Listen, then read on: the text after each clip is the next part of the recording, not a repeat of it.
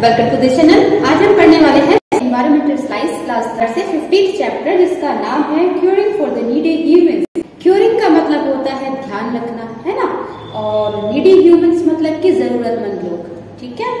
इस चैप्टर में हम पढ़ेंगे कि किस तरीके से जो नीडी ह्यूमंस है मीन्स से जो अपना काम खुद से नहीं कर सकते हैं, जिनको ज़रूरत है किसी की, उनकी हम किस तरह से देखभाल कर सकते हैं? चलिए पढ़ते हैं।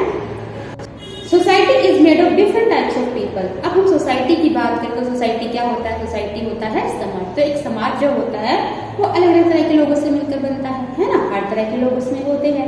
Every human lives in society और हर इंसान एक समाज में रहता है। Society gives a kind of safety and facility to the individual तो हम समाज में मिलकर रहते हैं और समाज में रहने से क्या होता है? बहुत तरह की सुविधाएँ हमें मिलती है और सुरक्षित हम महसूस करते हैं। Therefore, every human has duties towards the other individuals of the society. इसलिए समाज में रहते हुए हर व्यक्ति की ज़िम्मेदारी है, यानी कि दूसरों के बारे में सोचे, उनका ध्यान रखे। अगर किसी को ज़रूरत है तो उनकी हेल्प करे। और the sick and differently challenged people need our help समाज में जो बूढ़े होते हैं, वो भी होते हैं, कुछ बीमार भी होते हैं, है ना? और साथ ही साथ डिफरेंटली एबल पीपल भी होते हैं। डिफरेंटली एबल पीपल मतलब कि जो विकलांग होते हैं, है ना?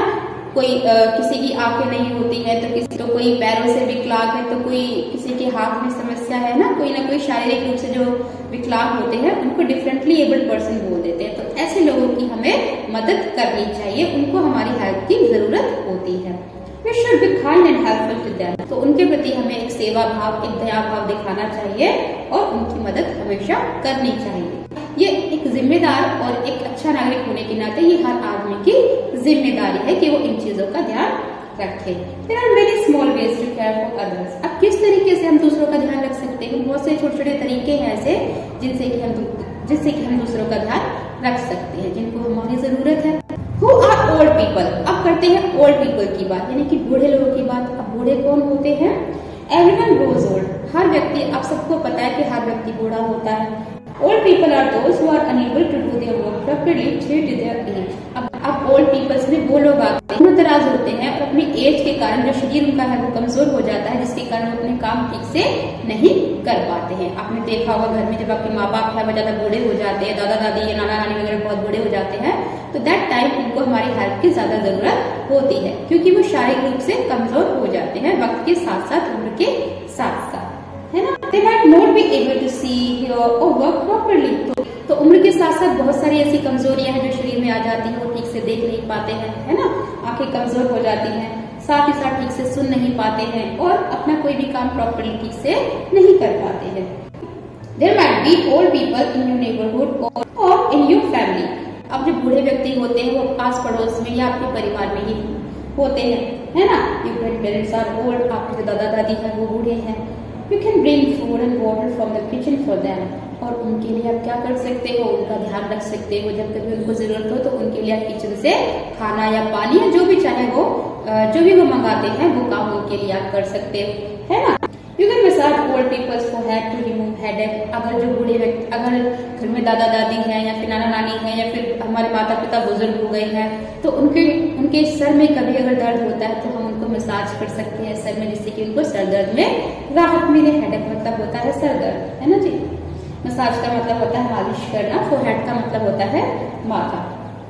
You can keep their things in order साथ ही साथ जो उनकी चीज़ें हैं, आप उनको तरीके से मैनेज करके भी रख सकते हो जिससे कि ज़रूरत के टाइम पर उनको आराम से वो चीज़ें मिल जाए लिसन टू देयर टॉक उनकी बातों को ध्यान से सुनना चाहिए to let them feel light hearted ताकि उनको अच्छा महसूस हो अंदर से, उनको लगे कि हाँ मेरा, कि हाँ मेरे लिए भी कोई सोचने वाला है, मेरी बातों को भी कोई प्रेफरेंस मेरी बातों को तो उनकी बातों को हमें ध्यान से सुनना चाहिए। उनको ये महसूस कराना चाहिए कि हाँ उनकी बातों को सुनने वाले भी हैं उनका भी ध्यान रखने वाले हैं घर के अंदर है ना? If you see an old person standing offer your seat to him or her और मान लो कहीं आप रास्ते में जा रहे हो बस में या ट्रेन में या कहीं तो उस टाइम पर अगर आप देखते हैं कि कोई बूढ़ा व्यक्ति या बूढ़ी लेडी कोई खड़ी हुई है बस में तो आपको और, और आप सीट पर बैठे हुए हो तो आपको सीट छोड़ देनी चाहिए और उनको बैठने के लिए बोलना चाहिए। तो ऐसे बहुत सारे तरीके हैं जिनसे हम अपने बुज़ुर्गों की देखभाल कर सकते हैं, उनका ध्यान अच्छे से रख सकते हैं, उनको अच्छा महसूस करा सकते हैं उनके उस दौर पर, है ना? वो आर सिक पीपल सिक का मतलब क्या होता है? सिक का मतलब होता है बीमार। अब सिक पीपल्स में कौन आते हैं। Sickness means a condition in which body is unable to perform its function अब सिकनेस बीमारी एक ऐसी कंडीशन हो जाती है जिसमें शरीर कमज़ोर हो जाता है और अपने काम नॉर्मली नहीं कर पाता है। आपने महसूस किया होगा जब आपको बुखार हो जाता है या कोल्ड हो जाता है कोई भी छोटी मोटी बीमारी हो जाती है कोई बड़ी बीमारी हो जाती है। अपने आसपास लोगों को देखा होगा तो उस टाइम पर वो अपने काम ठीक से नहीं कर पाते हैं, है ना? तो दैट टाइम कहा जाता है कि फलाना व्यक्ति बीमार हो गया है। सिकनेस में be for sometimes or it may be life long sickness की अगर हम बात करें, बीमारी की बात करें तो डिपेंड करता है कि किस तरह की बीमारी है। कई बार ऐसा होता है कि दवाई लेने के बाद कुछ दिन में ठीक हो जाते हैं और कई बार तो कुछ बीमारियाँ ऐसी होती है जो कि वक्त के साथ दवाई लेते हैं, वो ठीक हो जाती है। और कुछ बीमारियाँ ऐसी होती हैं जो ज़िंदगी भर शरीर का साथ नहीं छोड़ती। People in family or neighbourhood और आपने महसूस किया होगा कि आपके आस पड़ोस में, आपके परिवार में कई बार ऐसा होता है कि बीमार लोग हो जाते हैं। तो उस टाइम पर वो काम ठीक से नहीं कर पाते। तो जो व्यक्ति बीमार हो जाता है तो वो शारीरिक और मानसिक दोनों रूप से कमज़ोर हो जाता है और अपने काम ठीक से वो नहीं कर पाता है, अपनी बीमारी के कारण, है ना? तो उनको हमारी हेल्प की ज़रूरत होती है। तो उस टाइम पर जो बीमार होते हैं, उनकी हमें हेल्प करनी चाहिए। ठीक है? हर तरह से।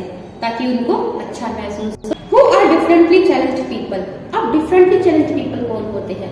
डिफरेंटली चैलेंज पीपल मतलब विकलांग। You must have seen people who are unable to see walk your or speak आपने देखा होगा, अपने आसपास बहुत से लोग ऐसे होते हैं जो कि सुन नहीं पाते हैं, ठीक से देख नहीं पाते हैं, ठीक से या फिर चल नहीं पाते हैं या बोल नहीं पाते हैं। कॉल्ड डिफरेंटली चैलेंज पीपल और उन्हीं लोगों को डिफरेंटली चैलेंज पीपल यानी कि विकलांग कहा जाता है। They also live and do the things with अब जीवन मिला है तो जीने का अधिकार तो उनको भी है। तो जीते हैं और सारे काम वो करते हैं, जैसे हम लोग करते हैं बट डिफरेंटली लेकिन अलग तरीके से, है ना?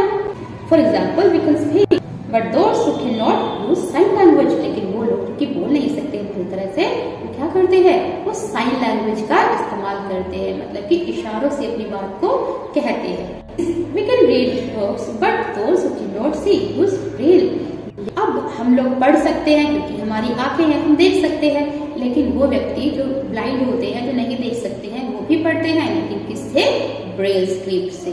Still to perform their duties to quite an extent और डिफरेंटली एबल्ड होते हैं, भी विकलांग होते हैं वो अपने सारे कर्तव्य निभाते हैं, जैसे हम लोग निभाते हैं। तो ऐसे लोगों की हमें अपनी तरफ़ से हेल्प करनी चाहिए, ताकि उनका जो जीवन है, वो थोड़ा सा इजी हेल्पिंग द नीडी अब किस तरीके से जरूरतमंद लोगों की हम हेल्प कर सकते हैं?